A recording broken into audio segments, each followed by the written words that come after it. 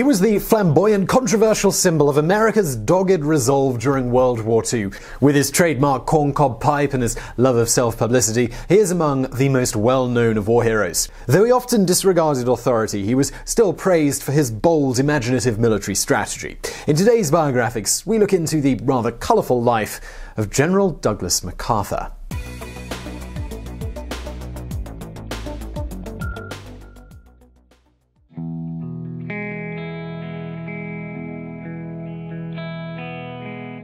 Douglas MacArthur was born on January 26, 1880, in Little Rock, Arkansas. He was the last of three sons born to Arthur and Mary MacArthur. His father was a Civil War veteran who had fought with distinction in many battles. He indeed won the Medal of Honor for his bravery, setting a very high bar for his boys. Despite his father having been the state governor of Wisconsin, Arthur fell for a Southern belle. Tensions were so high between the states that Mary's brothers refused to attend the wedding. Young Douglas was heavily influenced by his father's military career. He once commented that his first memory was the sound of bugles and he loved the pomp and ceremony of the army. By the time that Douglas came along, Arthur had been stationed to a series of remote western military posts. When their youngest son was nine years old, the family relocated to Washington, D.C. For the next four years, Douglas attended attended the Force Public School. In 1893, Arthur was posted to San Antonio, Texas. There, Douglas was enrolled at the West Texas Military Academy. He excelled both academically as well as on the sports field, being named class valedictorian during his final year. His sights were now set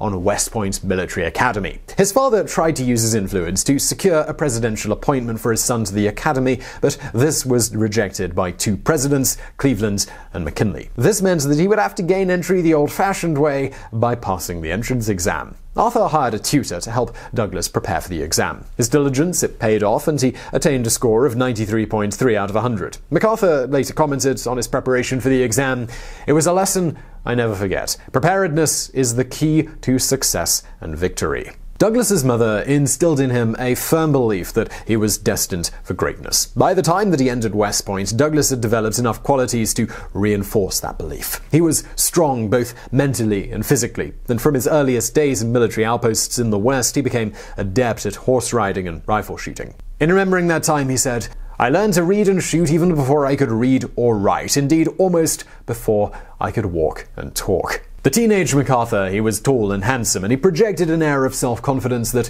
turned heads whenever he walked into a room.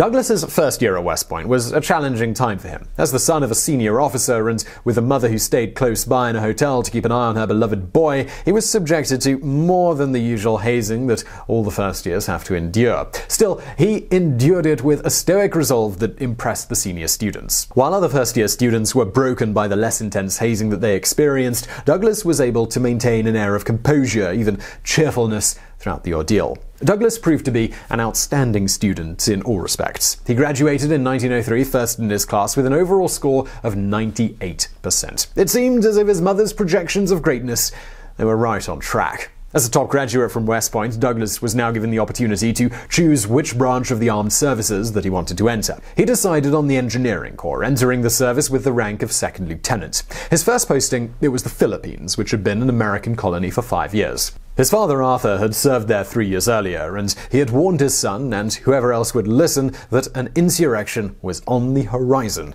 on that island. Douglas was placed in charge of strengthening the military infrastructure on the island. Yet he had barely been there a month when he was attacked by a pair of bandits while traveling alone in the countryside. He beat off both attackers and then shot them dead. It was an early example of the fierce courage that would go on to be his trademark. This first assignment, it was cut short after less than a year when Douglas contracted malaria. Once he recovered, his father pulled some strings to have Douglas accompany him as a military aide on a tour of Asia. The two years that he spent in places like China, Japan, and India developed within MacArthur ideas about Asia that went against the grain of mainstream political thought. He considered Asian people to be equal to Americans. This in itself undercut the subtle racism which underpinned US policy toward the region. Furthermore, he was of the firm opinion that America's future lay with the Far East and not, as the majority contended, with Europe. This set him rather at odds with the European centric views of his superiors, something which would persist throughout his lifetime.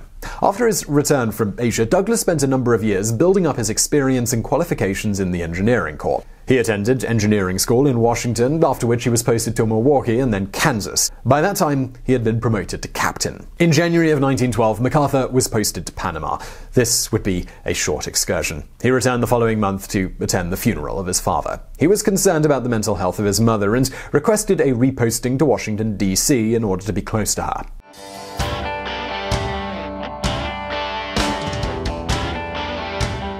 In 1914, MacArthur was assigned to the War Department to serve on the Veracruz expedition in Mexico. Relations between the US and Mexico had been deteriorating for some time. An incident that became known as the Tampico Affair brought matters to a head. Nine American sailors were taken into custody by the Mexican government for entering off-limit areas of the city of Tampico. The sailors they were released, but the Mexicans refused to provide the 21-gun salute demanded by the American government. An outraged President Woodrow Wilson ordered the invasion of the port of Veracruz by the U.S. Navy. MacArthur was sent to Veracruz as a military advisor. However, he soon went beyond his job description when he recruited some local railroad engineers and headed out to commandeer a number of trains that were believed to be sitting several miles down the line. To get there, he and his small group used a handcar. The group were able to commandeer a total of five engines. On the way back to headquarters, they came under attack from rebels on horseback. MacArthur shot at least three of the attackers. When he returned, he noticed that there were bullet holes in his clothing, yet he remained unscathed.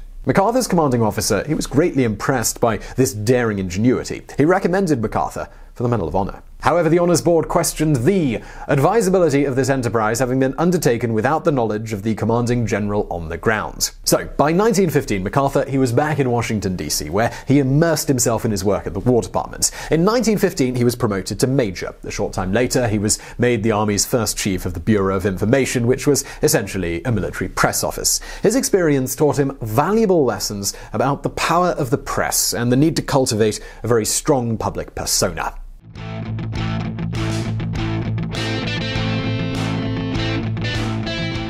The United States entered into World War I in April of 1917. MacArthur wanted the National Guard to be sent to Europe to play their part in the war effort. He came up with the idea of a Rainbow National Guard force that was made up of guardsmen from every state. This avoided any interstate rivalry. As a result, he became Chief of Staff of the 42nd Rainbow Division. It left for France in October of 1917. The 42nd Rainbow Division was posted behind front lines in order to complete their training. MacArthur's duties, they were largely administrative, which was a source of great frustration for him. He longed to get in on the action, going so far as to volunteer for trench raids with a neighboring French division. On one such raid, MacArthur found himself under gas attack, yet he still managed to make it to safety. The French, they were extremely impressed with his actions, awarding him the Croix de Guerre. As well as volunteering to help on French raids, he eventually led some American ones. Every time he was the first man over the top, and his bravery, it didn't go unnoticed. He was awarded the Distinguished Service Cross, and in June of 1917 he was promoted to Brigadier General. He won two more Distinguished Service Crosses leading his men in a defensive mission during the Kaiser's Offensive in the summer of 1918. The horrors that he witnessed during that offensive prompted him to make the quip. Whoever said the pen is mightier than the sword obviously never encountered automatic weapons. Yet, MacArthur excelled in the thick of battle. By the end of July 1918, he had earned himself four Silver Stars, two Croix de Guerre, and the French Legion of Honor. Still, he wasn't done. During the Great American Offensive of October of 1918, he won two more Silver Stars, and despite being gassed, he refused to stay out of the thick of the action. He came into contact with future General George Patton, who called MacArthur the bravest man I've ever met. The climax of MacArthur's World War I experience was the taking of the French city of Châtillon. After spotting a weakness in the German defenses, he led an attack that overran the town. The capture of Châtillon was a key victory in the final weeks of the war, and it won him yet another Distinguished Service Medal.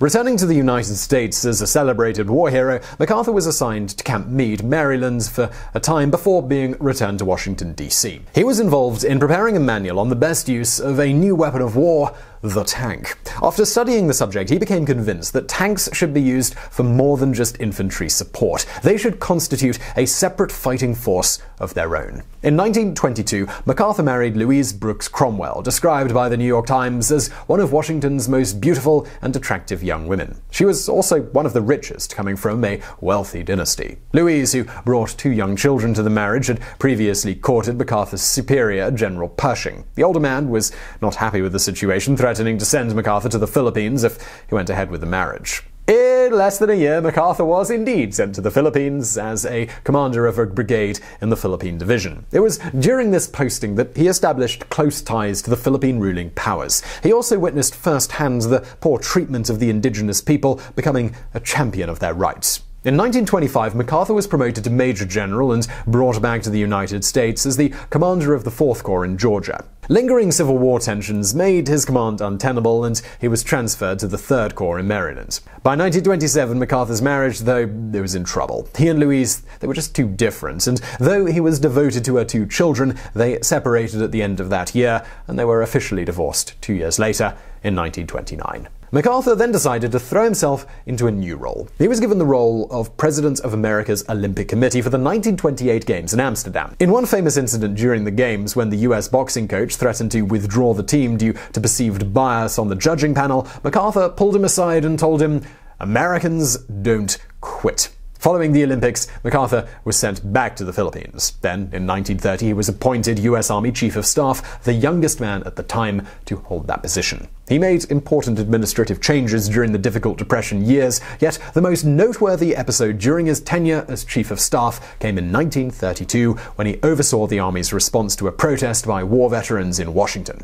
During the confrontation, soldiers fired on the veterans, with several of them being killed. The backlash it fell squarely on MacArthur's shoulders, and his reputation it suffered a setback. With the election of Franklin Roosevelt to the presidency, tensions between the commander in chief and his chief of staff they reached an all-time high When Roosevelt refused to increase the military budget, MacArthur made the following caustic comment When we lose the next war, and an American boy lying in the mud with an enemy bayonet through his belly and an enemy foot on his dying throat spits out his last curse, I wanted the name not be MacArthur, but Roosevelt. Despite their differences, Roosevelt and MacArthur they had a mutual respect for one another. The four-year chief of staff post was extended by a full year by the president. In 1935, MacArthur once more went to the Philippines. This time, he came at the personal invitation of President Manuel Quezon to act as a military advisor in order to create a defense force on the island. To take up the role, he retired from active service in the U.S. Army.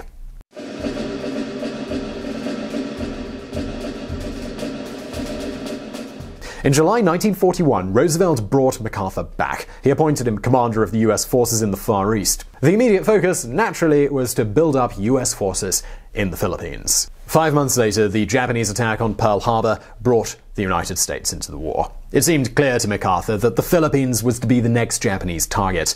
That attack came within just two weeks. MacArthur had neither the manpower nor the time to prepare a proper defense force, and half of his air force was simply wiped out.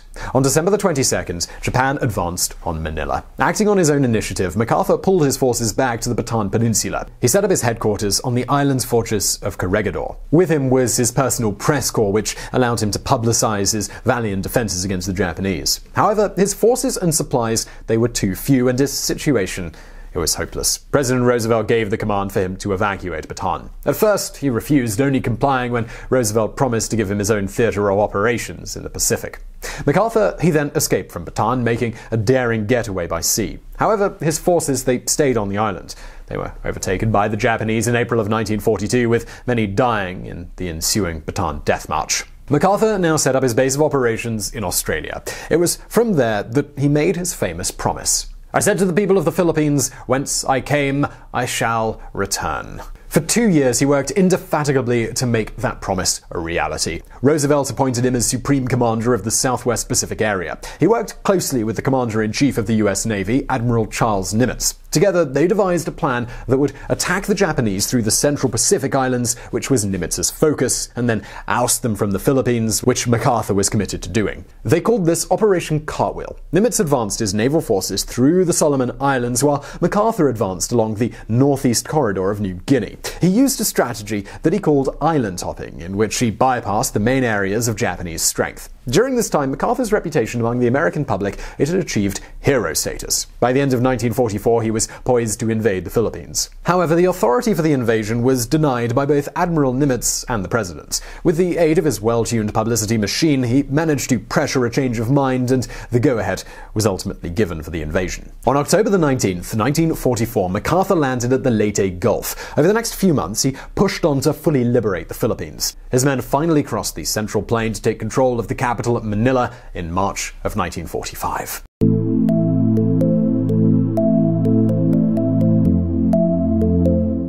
MacArthur received the Japanese surrender at Tokyo Bay on September 2, 1945. Following the war, he was placed in command of the operation of the Allied occupation of Japan. He was charged with rebuilding the Japanese economy and demobilizing their military. In 1950, MacArthur served as commander of the United Nations forces in the Korean War.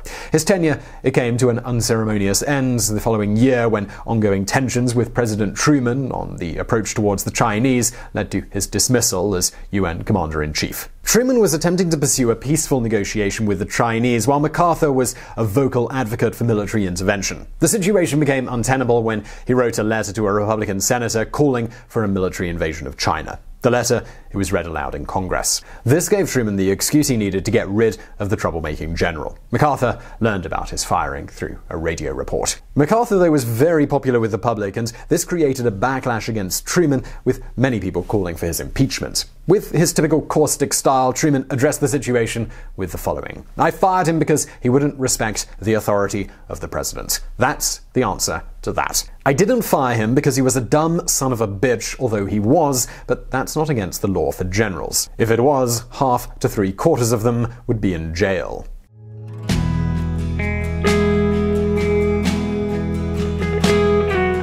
His firing by Truman had made MacArthur even more popular than ever. Upon his return to the US, he was given a ticker tape parade through the streets of New York City, the largest that the city had ever seen. He was invited to give a farewell address to Congress, in which he delivered the famous line That old soldiers never die they just fade away. He moved into the Waldorf Astoria Hotel in New York, where he remained for the rest of his days. His retirement years were spent in quiet seclusion. However, in 1961, he was contacted by President Kennedy and asked for advice on the Asian situation. MacArthur told him to stay out of Vietnam. In 1961, MacArthur made his final trip to the Philippines, where he met with old friends. On his return to the States, he began working on his autobiography. The end came on April 5, 1964, as a result of liver disease. He was honored with a full state funeral with more than 150,000 people paying their respects to one of America's great titans of war. So I really hope you enjoyed that video. If you did, please do give us a thumbs up and don't forget to subscribe and hit that notification bell. We put out videos several times per week, so by doing that, you'll find out all about them. Also, if you'd like these in the audio format, maybe you drive or do things where you can't really watch them all the time, why not check out the audio version of this YouTube channel? You can find it on iTunes or wherever you get your podcasts. Just search biographics, it'll come up. And as always, thank you for watching.